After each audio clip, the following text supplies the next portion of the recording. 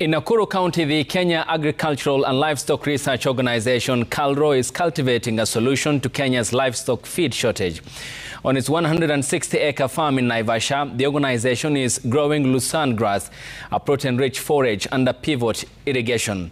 As Dennis Otieno reports on this week's Smart Farm, the initiative is not only combating climate change effects, but also improving dairy productivity and cutting feed costs.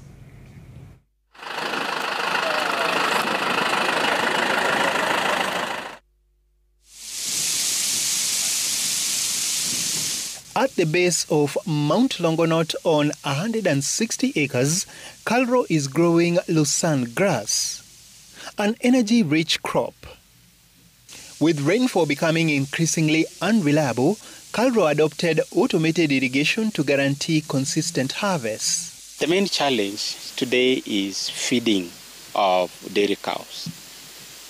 And what we have done intentionally is to develop a pivot irrigation system where we can produce uh, uh, A, Lucerne A, throughout the year. We have installed this system because of the issues of climate change, where precipitation, where rainfall is also a challenge, and therefore we needed to see how can we then address the feed resource challenge for feeding our dairy animals. Each month, KALRO produces over 20,000 bales of Lucerne. But its true strength lies in quality, boasting protein levels of up to 24%, far higher than typical grasses. Lucerne is very highly digestible.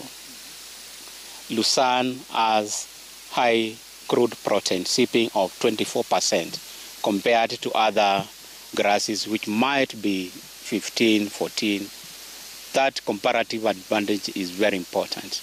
At the same time, Lucerne produces nitrogen and fixes the soil fertility.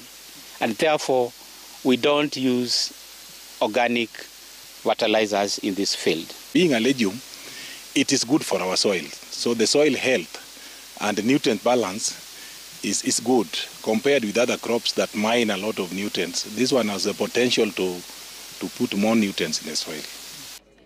That dual value for both livestock and soil makes Lucerne a strategic crop for the future. Its fast growth means farmers can harvest every four weeks under irrigation. It's very encouraging.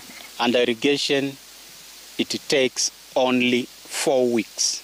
After every four weeks, you are harvesting your Lucerne and baling it ready for use by our animals, ready for sale to smallholder farmers around this region to address the feed resource challenge which we have across the country. As feed costs rise due to global disruptions, Lucerne offers a homegrown alternative to expensive commercial concentrates. The Lucerne grass variety is hailed as the queen of all forages due to its superior characteristics compared to other types of grass.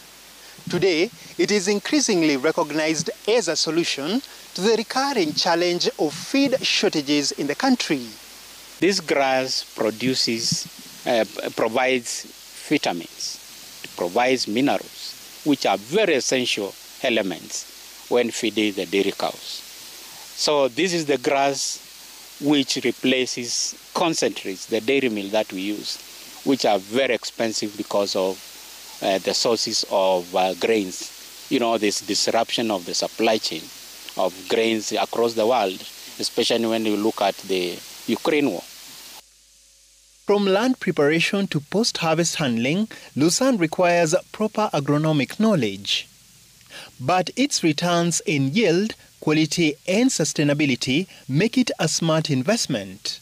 For the first harvest, after planting, you, you need to do the first harvest after the first harvesting three months after planting. Then thereafter, the subsequent cuts are monthly. Yes, the first one is, is, is, is longer because you are leaving the crop to establish well before you start disturbing it.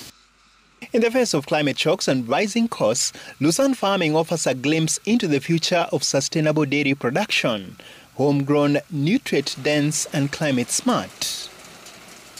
Dennis Otieno, Smart Farm.